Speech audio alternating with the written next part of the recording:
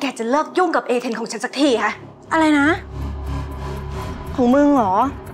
ฉันดูแลเอเทนตั้งแต่เขาเด็กๆ แล้วฉันนี่แหละจะเป็นคนผลักดันให้เขาไปให้ไกลที่สุด ผู้หญิงอย่างแกเนี่ยมีแต่จะชวนให้เขาลงต่ำอืมตอแหลจังเลยอะรับบทครู อยากผลักดันลูกศิษย์หรือจริง ๆ แล้ว